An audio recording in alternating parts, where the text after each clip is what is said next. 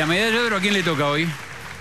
Y hoy le toca a tres primer ministros. Sí, ahí está, Angela. Merkel de Alemania, François Cuando Hollande. las cosas presidente. están mal, muy mal, porque Mm. hablamos de una tragedia aérea donde murieron 148 personas. Sí. Cuando pasan estas cosas, dan la cara y están juntos. Eh, dar la cara ante la tragedia, nada, es el mensaje de, Yes. de estos tres eh, líderes europeos.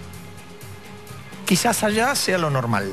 Acá no lo es tanto. Y esto merece... Por eso le damos medalla de oro. Así es. La de plomo, por favor.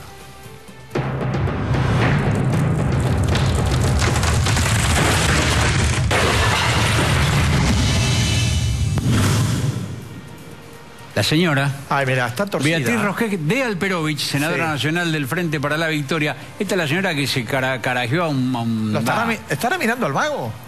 ¿A quién? Al vago. Porque le dijo vago. Sí. Bueno, Vago de mí. le dijo, le dijo algunas cosas a un... Bueno, sí, este es conocido, ¿no? Sí, a un hombre que... a ver, que, que reclamaba que le den máquinas para las inundaciones. Algunos sinvergüenzas, con cargo público, dijeron que a la señora la habían provocado y por eso reaccionó así. Señora, usted está ahí arriba. Tiene que tener, digo, de mínimo un poquito de respeto por los que están abajo. ¿eh? Los que están inundados no están en la posición privilegiada que usted está, ni que estamos ninguno de nosotros. Así es. Eh, el maltrato al que está en la necesidad, acá es medalla de plomo Plomo, plomo, plomo. a la senadora ultra kirchnerista, la señora de Alperovich. Muy bien, música, por favor.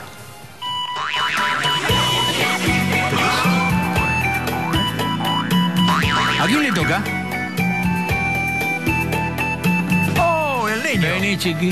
Vení, chiquito. Che, con más respeto que va a ser candidato. No, más respeto que no. por ahí dentro de unos meses Vení, lo tenemos chiquito, de. Mirá si una- lo tenemos de presidente o de vice.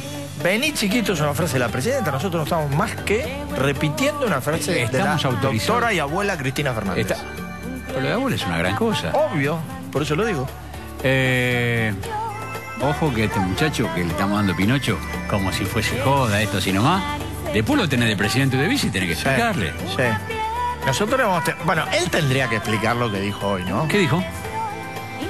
Le empezaron a preguntar por los índices de pobreza en la. Argentina. Sí. Un tema complicado. Para, ¿no? es el ministro de Economía, ¿quién Sí. le vas a preguntar? El ministro de Defensa, ¿no? Y no lo, no lo decía, no lo decía. Y dijo en un momento, bueno, la verdad que no sé muy bien cuántos pobres hay, pero la verdad que hablar de los pobres es estigmatizarlos. Ah. Digo, crear las condiciones para que los pobres Sí. sean pobres. Mantener las condiciones Sí. para que los pobres sean pobres después de 12 años. ¿Cómo se llama? ¿Qué es? Eh, no dijo toda la verdad Kicillof No, sobre Pino- la pobreza. No Pinocho. dice que no sabe cuántos hay. La mide el INDEC. Está- es claro que él no va Está a saber cuántos no hay si sepa, lo mide el está INDEC. bien que no pero ahí está to- bien. toda la verdad no dice. No, no, no, no. Eh, Pinochazo para el chiquito. un pobre Pinocho para Sí. Kicillof. Así es. Va para nuestro futuro candidato. Eh, que lo disfrute a nuestro Pinocho, que lo devuelva.